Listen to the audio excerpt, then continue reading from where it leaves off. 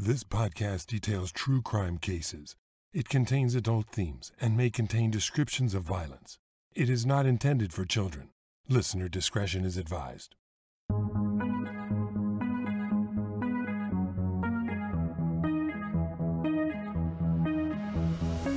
Thank you for joining me for today's episode of Once Upon a Crime.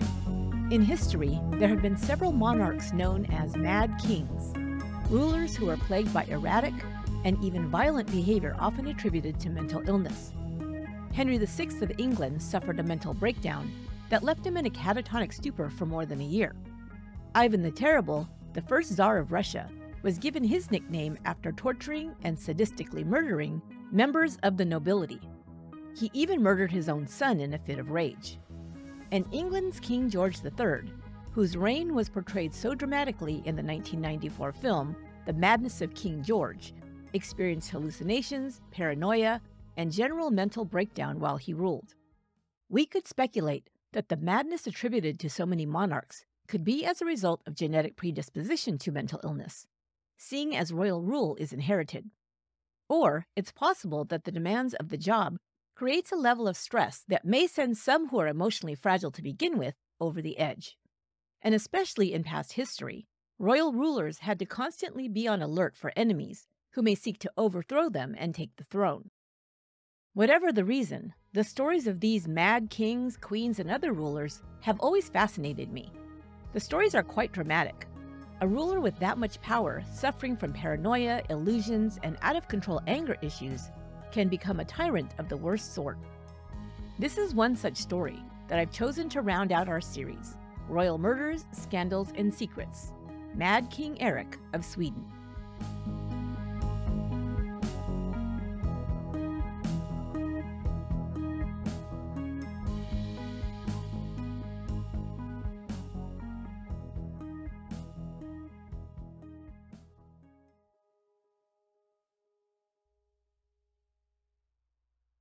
We're going to do this episode a little bit differently. I do this every once in a while. It's kind of the same format I use for Patreon. I have all the details in a very detailed outline, but I'm going to give it a little bit more of a casual feel, reciting the information to you without a script. King Edward XIV was born on December 13, 1533, as Erik Vasa at the royal castle in Stockholm, Sweden. He was the heir to King Gustav I and Queen Catherine of Saxe Lauenburg, he was the only child born to the king and queen. Queen Catherine passed away just before Eric was two years old. King Gustav would marry his second wife, Margareta, the following year. They would have 11 children, so Eric would have 11 half brothers and sisters. King Gustav I was the first monarch to be succeeded by his heirs. Before then, the Kingdom of Sweden had been an elective monarchy with kings chosen from prominent families. As a child, Eric was very bright. He had an interest in astrology, in music, and was an accomplished writer. He received a Renaissance education, including geography, history, and political thought. He was very skilled in foreign languages and played the lute, and he even wrote his own lute compositions. Military science was his special interest.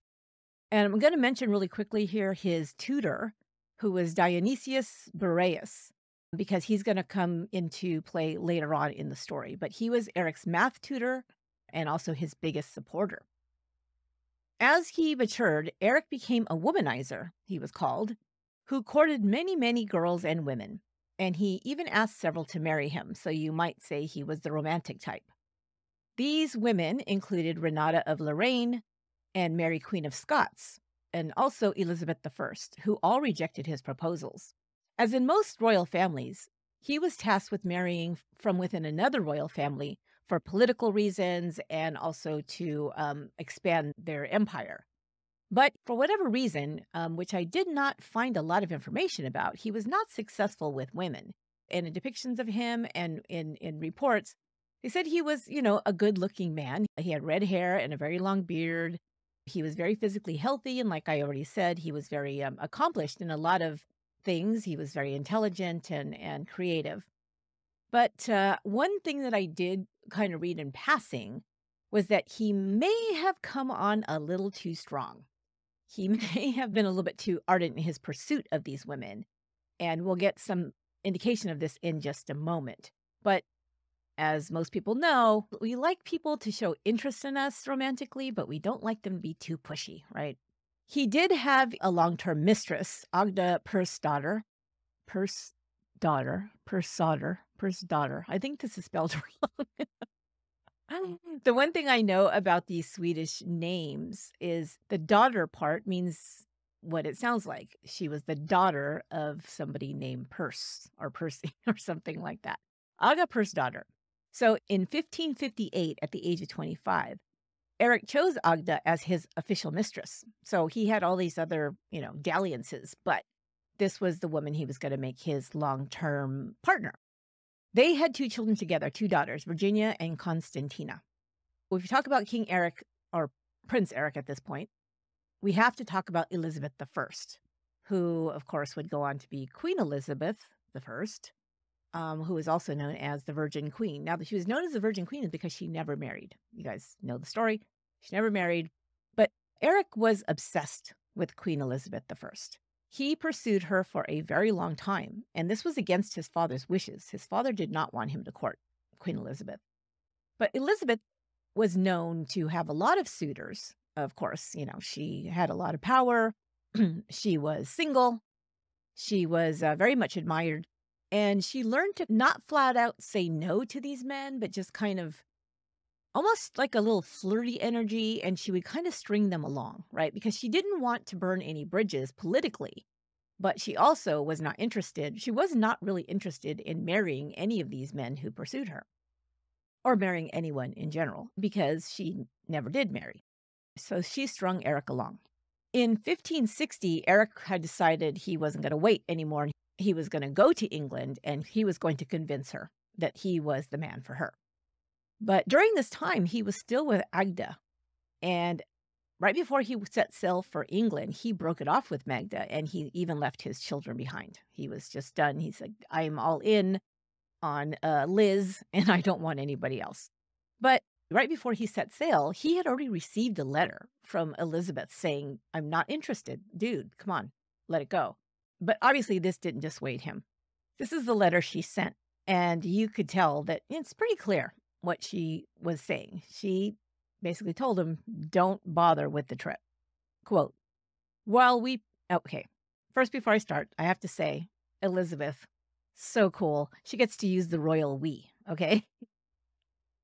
I think we should all start using the royal we. It's just very cool. Okay, this is what she's saying, talking about herself, of course, but saying we. Quote, while we perceive therefrom that the zeal and love of your mind towards us is not diminished, yet in part we are grieved that we cannot satisfy your serene highness with the same kind of affection. And that indeed does not happen because we doubt in any way of your love and honor. But as often we have testified both in words and in writing that we have never yet conceived a feeling of that kind of affection towards anyone. We therefore beg your serene highness again and again that you be pleased to set a limit to your love, that it advance not beyond the laws of friendships for the present nor disregard them in future. I have always given both to your brother, who is certainly a most excellent prince and deservedly very dear to us, and also to your ambassador likewise, the same answer with scarcely any variation of the words, that we do not conceive in our heart to take a husband, but highly commend the single life, and hope that your serene highness will not longer spend time in waiting for us. End quote. Beautiful. Meanwhile, didn't get the hint, still set sail. But Eric never made it to England. It's a long trip. And on September 29, 1560, he received the news that his father, King Gustav, had died. So now he succeeded to the throne as the King of Sweden. He was now King Eric XIV. He was referred to as the chosen king and given the title of the hereditary king. He gave himself the name of Eric XIV, but there wasn't 13 Erics before him. So you're probably thinking, geez, there's a lot of Erics. No. He and his half brother Charles assigned themselves regal numbers, partially based on fictitious histories of Sweden. I don't know why he just didn't want to be Eric First, but he decided Eric 14th. Maybe it was his lucky number. I don't know. Okay. So now let's talk about his reign. King Eric XIV, as soon as he was placed on the throne officially, he gathered his half brothers, John and Charles, who were the next two to succeed him, and he demoted them from their title of Duke. Eric was an opponent of Swedish nobility. He considered all Swedish nobles rivals for his throne, of course, because that's the way it had happened before, that they had been placed in power as the king. But now he's like, okay, let's get rid of nobles because I don't want anybody gunning for my position. This, as you can imagine, didn't go over very well because not only does it diminish their power, but their wealth and their titles and all of those things. And of course, his own brothers were dukes. So, you know, we've got a problem here. He was especially suspicious of his half brothers attempting to get rid of him to take the throne. Now, any monarch was going to be a little bit paranoid, a little bit suspicious because, like I mentioned in the intro, there's always this power struggle right? And they always have to, you know, watch their back. Who's going to try to take them down and take over power? But we'll see that his paranoia and his suspicion becomes off the charts. In this royal family, anyway, there was a lot of paranoia and rivalry between the half siblings. Their father, Gustav, was said to also be a very contentious man and a stern leader, and he also had these ideas about quashing anybody who may even become one of your enemies. So Eric had a little bit of a role model in that. But in 1563, so just after taking the throne within a couple of years, King Eric's courtiers noticed a change in his personality. He was more paranoid, and his thoughts became illogical. His rule started to be known as marked by violence. King Eric started to believe that all the nobles were plotting against him, and when his brother John, the Duke of Finland, married a Polish princess against Eric's wishes, he began to be openly hostile towards his brothers, which led, of course, to increased political tensions. He then had his brother John arrested for high treason.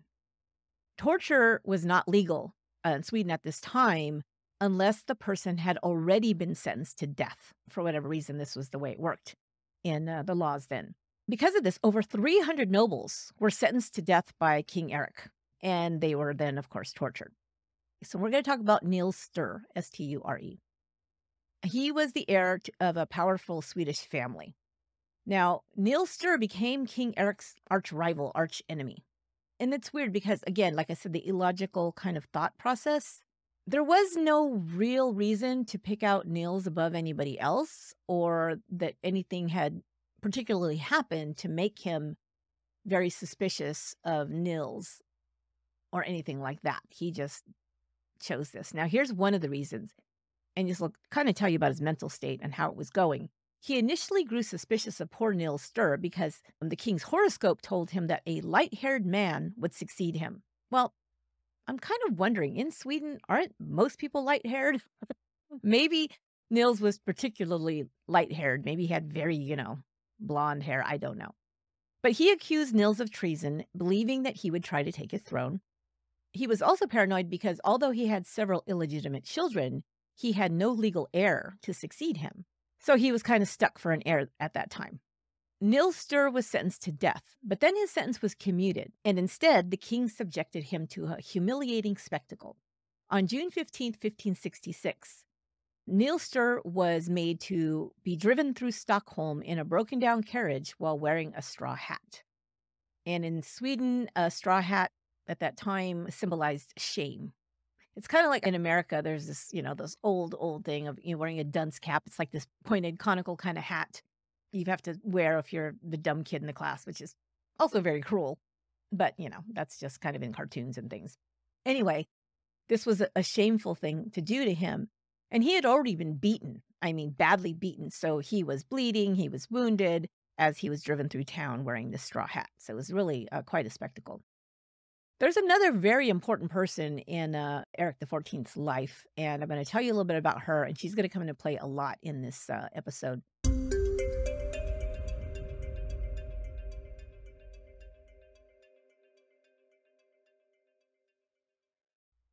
We'd like to thank our new sponsor, Factor, for sponsoring today's show.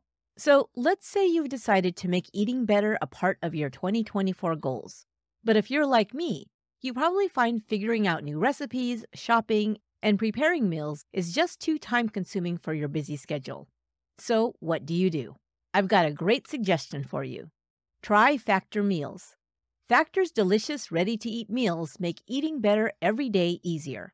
Factor's pre prepared, chef created, and dietitian approved meals are delivered right to your door. And Factor gives you so many options to choose from that you're sure to find just the right fit for your nutrition needs and your taste preferences. I watch both carbs and calories, so I love Factor, which has both carb conscious and calorie smart meals. They also have keto, protein plus, and vegan and veggie options. You can customize your meals from over 35 different options every week. New meals are added all the time, but you can also choose from popular favorites.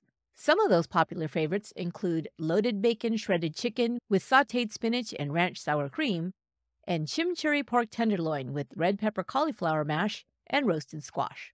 There are also a variety of easy options for breakfast, snacks, and more. Cooking for one can be a challenge, but Factor meals are perfectly portioned and easy to heat up for one person with no leftovers wasted. Get as many or as few meals as you like by choosing 6 to 18 meals per week depending on your needs. Head to factormeals.com slash once50 and use code once50 to get 50% off. That's a great discount just for our listeners. That's code once50 at factormeals.com slash once50 for 50% off.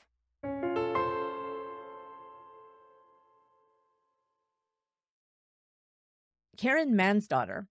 In 1564, the king met Karen who was employed as a servant to his court musician. So she wasn't a lady in waiting, she wasn't uh, a, a part of the nobility or anything. She was a servant. Her mother came from a family of peasants in Uppland, and her father was a soldier and later was a prison guard. So they were just normal people. But when he saw Karen, he became infatuated with her and he made her his mistress in 1565. Like I mentioned before, he'd had many other mistresses, but he dismissed all of them after meeting Karen. He permanently got rid of Agda. Remember the one I talked about that had his children? He also had other children from other people, but she was like the official, the official mistress, right? And he got rid of Agda by accusing her of being an unfit mother.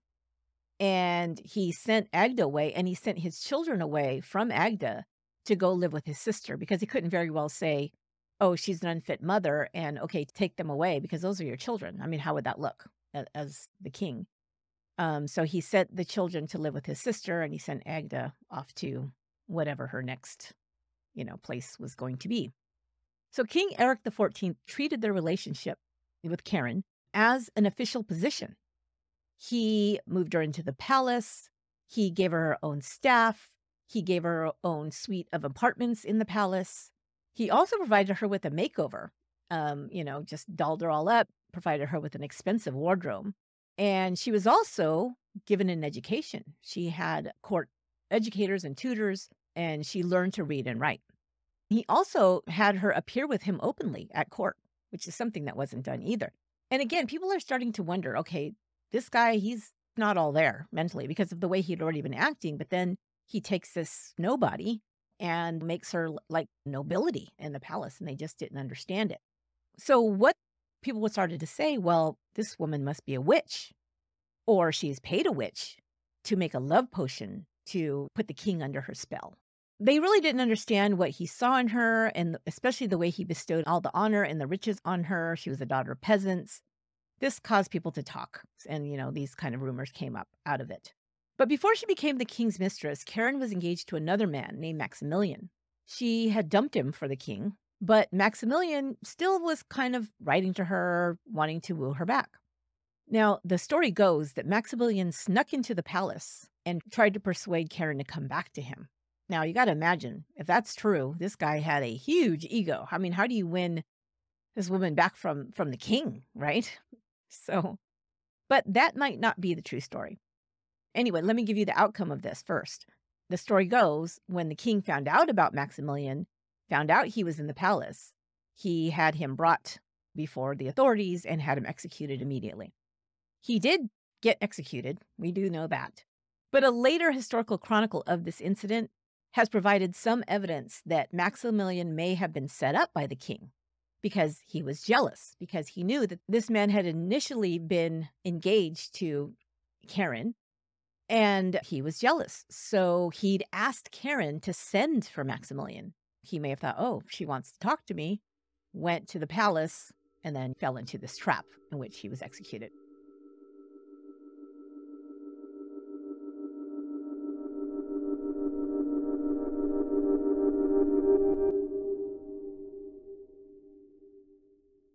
I want to talk a little bit about Karen's influence on uh, King Eric because she had quite a bit. So it looks like Karen had a very positive influence on the king, and she conducted herself in a dignified and a classy manner. She was described by some as very beautiful, with long blonde hair and, quote, innocent eyes. Her personality was reported as calm, humble, and serene. And as the king became more unstable, she seems to have been the only one to be able to calm him down. Some people, including the nobles, even appealed to her when they needed to have the king listen to reason. There's actually a painting. Now, this was painted 300 years after his reign. But what the painting shows is a portrait of the king on the floor, quote, confused by his inner demons, with Karen at his side holding his hand, looking like an angel, end quote. And also in the painting, you see King Eric's advisor standing nearby, and he's trying to get him to sign a document. So what it's showing is he's overwhelmed by whatever and not being able, able to do his job. And Karen has to be by his side to kind of help him just being able to deal with these things. Eric's family thought that Karen was very good for his mood and was grateful for her presence. She intervened for many people who were arrested and brought before the king the king calling for these people's arrests, and we'll talk about this in a minute. Because of her influence, they were later pardoned. She was even able to negotiate a period of peace between the king and his brother, Duke John. But in many ways, she was still not respected at court. And of course, this was due to her humble background. And some people thought that the marriage was a scandal. This is where those charges of witchcraft seem to stem from. In a letter to Eric's half sister, a court member wrote this quote, the lunacy which dominates him is a consequence of his deeds. He was somewhat unstable even before, and now he is completely so, guided by his wife. She was one of the people at court who was saying that Karen was a witch. When the king became so mentally ill that there were times that he couldn't even function, a regent was appointed to be in his place for official business. So I don't know if he was exactly bedridden or or what, but Meanwhile, he was just not present to deal with, you know, government issues. And so a regent would step in and deal with that uh, during those times. But eventually he would always bounce back and then resume his duties. This happened several times in 1566 and 1567, which is kind of the worst times of all of this was going on. In 1566, Eric asked Nils Sture to repent for his sins. Remember, he's thinking this is something the king just had in his head but to repent for his sins and help him out with a plan. Eric sent Nils off as an official bridal envoy to Renata of Lorraine. Now, he was what he was saying was, Nils, you're going to go and you're going to speak for me, and you're going to try to persuade uh, Renata of Lorraine to marry me. But this was all just a cover up. Eric had set all this up to send Nils away. It looked good, like, okay, the king's back in his right mind. He's going to actually marry somebody who's royal or noble. All of this stuff with Karen the witch is, you know, that, that's in the past. But he actually was secretly planning to marry Karen. This was just all a ruse. He was very paranoid now that his courtiers would try to stop the wedding. And again, in his mind, Nils was the one who was setting all this in motion. Like he was having these secret meetings and he was getting everybody on his side to do all these things against the king. So he fixated on him as the scapegoat for all his paranoia. Historical records note that in 1567, King Eric suffered a mental collapse and his behavior became even more erratic. In 1567, he did marry Karen and made her his queen. But she would style herself as chosen queen and never just queen, because she knew that her position was not fully accepted by the aristocracy. She does seem to be very rational and very practical in the way that she does things. She wasn't trying to like push too many buttons or anything like that. Um, she was careful. It was reported now that the king had plans to have his brothers and his other quote unquote enemies killed before his wedding. But Karen warned these people of these plans through the Queen Dowager, Catherine. This is Eric's stepmother. These people who, who he was going to have killed didn't come to town to attend the wedding. I mean, you could have had this whole red wedding scene, right? But Karen was the one that headed off at the pass. So she helped these people to not come for a wedding and end up in their doom, right? The king and Karen's children were present at the royal wedding, and this was something that was never done before either. Now, here's the thing you could think, okay, well, he was a progressive king, but most people just saw this as, as signs of his instability, his mental instability. The children were actually placed under the banner between their parents as they took their vows. Even Karen's peasant relatives, three of her maternal uncles, attended the wedding, which, I mean, come on. You, you just don't invite peasants to the palace, right? At least they didn't at that time. And they were even given suits of clothes to wear by the royal tailor. So treated very well. That's really nice.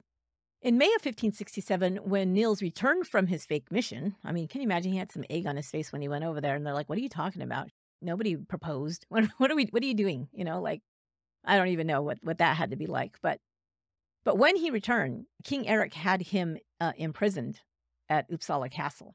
Now, there was already other nobles who are uh, imprisoned by the king, you know, waiting there when Nils joined them. Nils' father, Svante, was also there, and, and like many other nobles.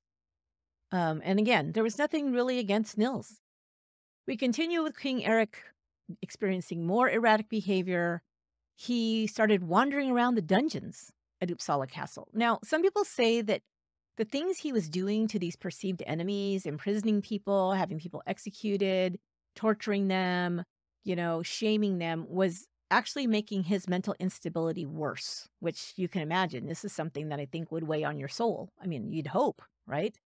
And it made his thought process even more scattered and he became more mentally unstable. When all this was going on, a noblewoman appealed to Queen Karen, asking her to intervene with her husband to make sure the prisoners weren't harmed because they knew they couldn't go to the king. He couldn't be talked to. So now people were starting to appeal to the queen. Please step in, do something. So apparently, this conversation must have taken place between the king and the queen because later that morning, the king visits Svante Sture.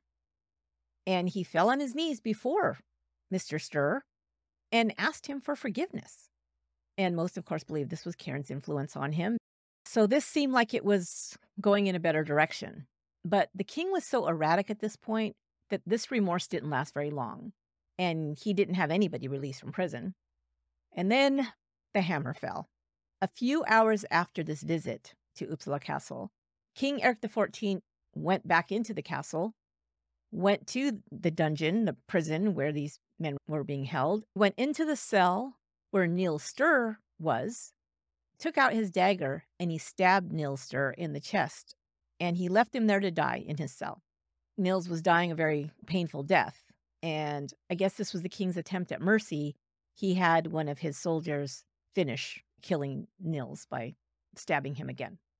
After doing this, the king walked over to Svante's cell, who had just asked forgiveness from hours earlier, and he said that he had to kill him because he knew that he would never forgive him for having just killed his son. Well, makes sense, but my gosh. After these murders, Eric ordered his men to massacre almost all of the remaining prisoners, so they were all killed. While he was leaving the castle, you could imagine what kind of state he was in at this point. Full blown, you know, just breakdown here. There's there's no reason he's become extremely violent, extremely paranoid. While he's leaving the castle, the king runs into his old tutor, I mentioned very early in the episode, Dionysius.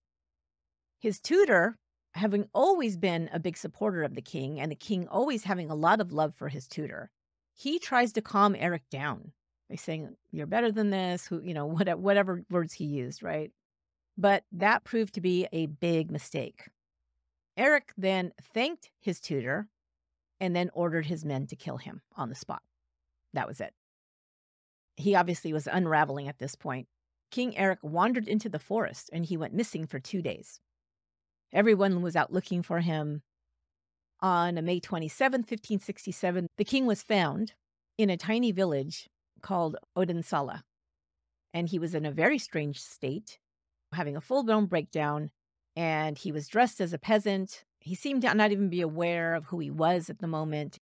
There's a little bit of a blank spot here of what happened after this. I would imagine that he had to be cared for, and a regent was put in his place at this time, like had been done before. And then he eventually came back to his senses somewhat. Then they had the queen's coronation. So he actually had an official coronation for Karen in 1568. But soon after the queen's coronation, the king's brothers, John and Charles, now led a rebellion against the king. He's like, this, this can't, this guy is just not in his right mind. We need to shut this down. So they overthrew the king at this point, and John was put into power. When John became king, his first point of action was to throw Eric in prison. Now, when royals, especially at that high level, were imprisoned, they weren't imprisoned like they were in a little jail or a dungeon. They were in a palace. They were just being held under guard in a palace. Eric and Karen were put in prison together. King John basically made a pronouncement that said Eric was insane and so had to be taken out of power, and that's why he was taking power.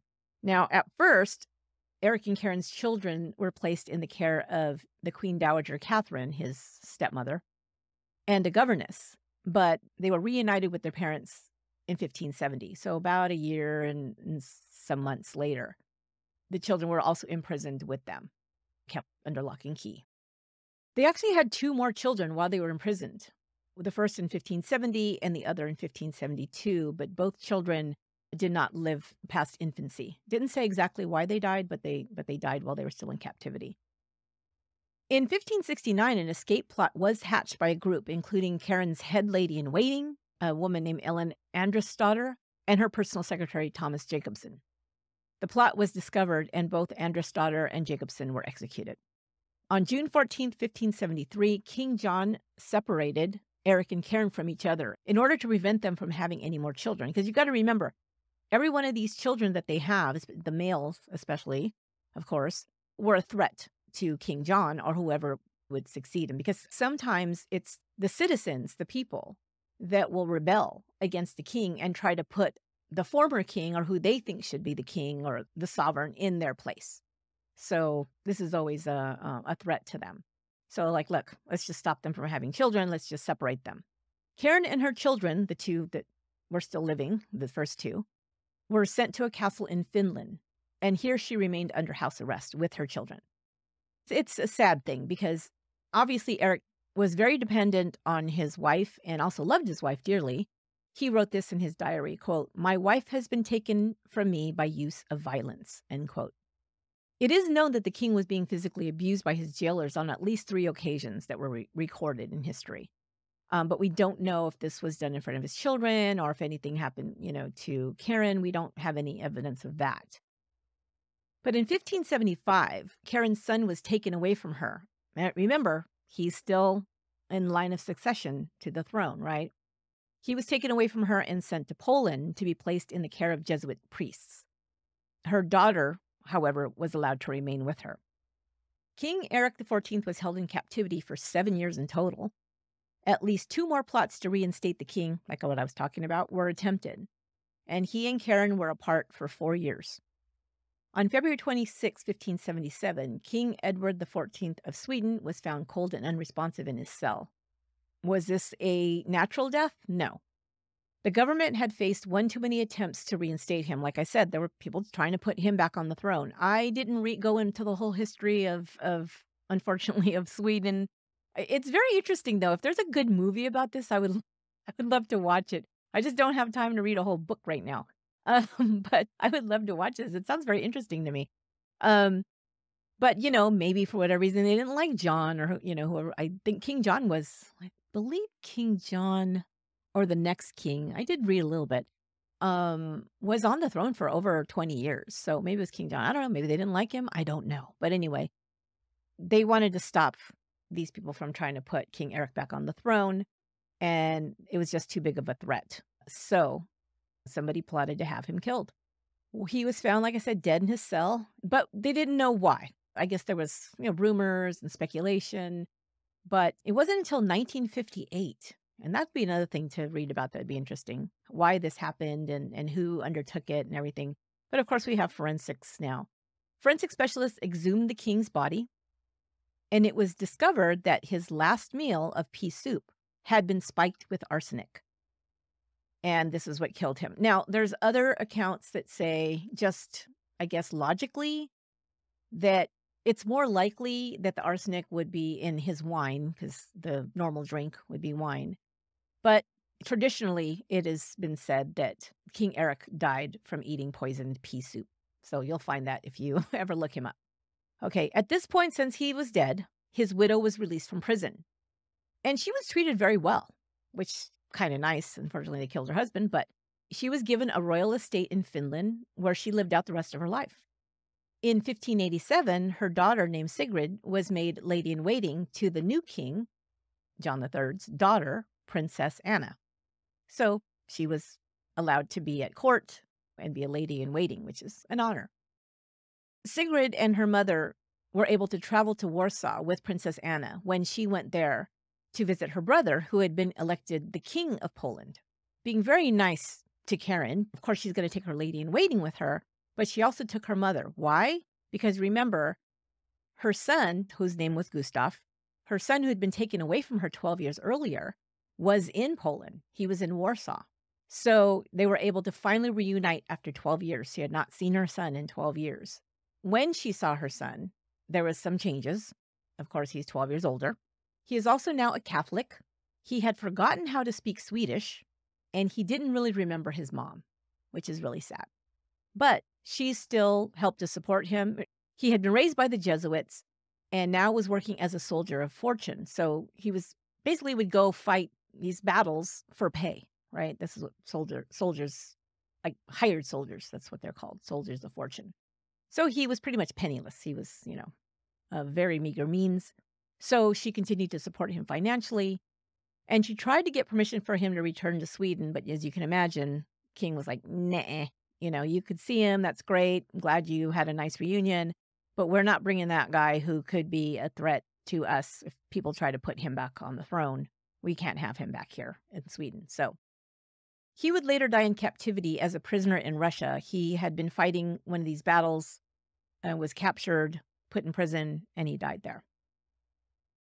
But her daughter Sigrid would later marry a Swedish nobleman and live a pretty good life. Karen was very well liked and respected in Finland. Uh, during the Great Peasant Rebellion of 1597, the rebels refrained from plundering her estate. The peasants were rebelling against the nobility, plundering estates, and they basically skipped hers because they liked her. She came from peasant family as well, so maybe that was one of the reasons they had a little bit more um, esteem for her. She managed her estate very, very well, so she was smart too. It became one of the most lucrative estates in Finland, and she died peacefully there after a brief illness in 1612. So that is the story of King Eric XIV, another one of these mad kings. I thought it was a very interesting story, and I hope you did too. So that will do it for this episode of Once Upon a Crime. Join us on Patreon if you'd like to get a bonus episode every month ad free for as little as a $2 a month membership. Go to patreon.com slash once upon a crime. You can still vote for Once Upon a Crime for the 2024 True Crime Awards Listener's Choice category. We would love your support. Go to truecrimeawards.co.uk and click on Listener's Choice to get your vote in. Voting closes on March 31st, so get your vote in today. Thank you so much. There's a link in the show notes. I will be at CrimeCon in Nashville in May and CrimeCon UK in London in September. I'm so looking forward to that. For more information and to purchase tickets, go to truecrimepodcast.com and click on upcoming events. Use my offer code listed on the website and in the show notes for discounted tickets. I can't wait to meet you on Podcast Row. Once Upon a Crime is written and produced by me, Esther Sanchez Ludlow. My administrative and production assistant is Lorena Garcia, and research for this episode was provided by Emma Battaglia. Until next time, be good to one another.